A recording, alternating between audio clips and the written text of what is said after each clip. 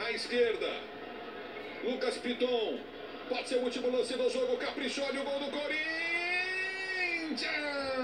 Tentou Rony. Foi travado pelo Gustavo. Quando ergue o braço, o árbitro, fim de jogo, zero Flamengo, zero Corinthians. O Flamengo está na decisão do Campeonato Brasileiro Sub-20.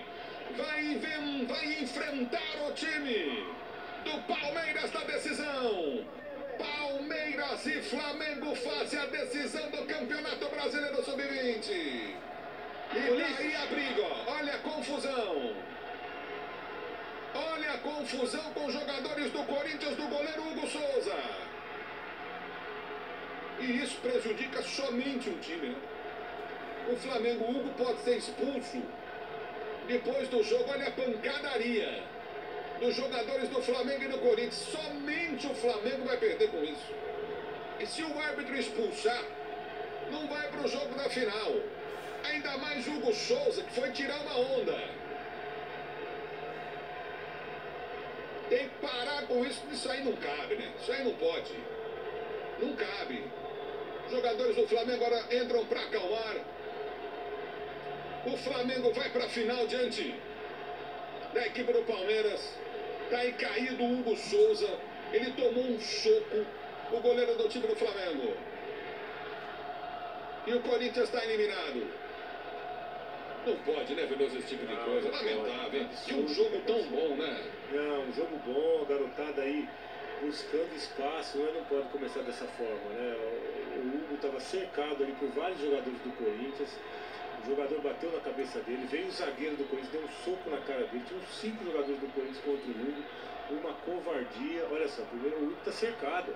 Chega um jogador do Corinthians ali, depois vem mais quatro. Depois... E foi o Rony, o capitão do Corinthians. Sim, aí chegou mais, ó. Chegou mais um, chegou mais um, esse bateu na cabeça dele. O número o Léo Pereira. O Léo Pereira, depois vem o zagueiro. E ele, o Hugo tá no meio, só jogadores do Corinthians. Olha, chegaram mais dois.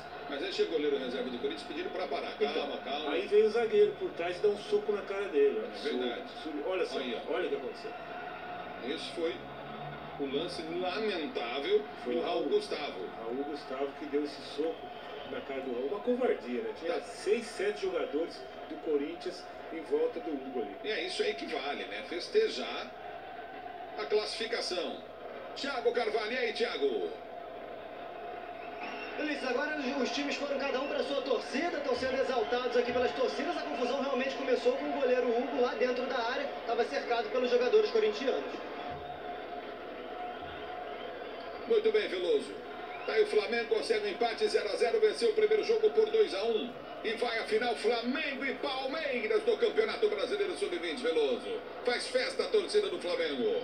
Há uma bela final do Campeonato Brasileiro Sub-20. A gente pode até lembrar que no, no principal também existe essa disputa há um bom tempo, né, entre Palmeiras e Flamengo. Agora no Sub-20 também vamos ter a final aí do Flamengo muito bom contra o, o Palmeiras que está defendendo o título porque é o atual campeão brasileiro, Luiz.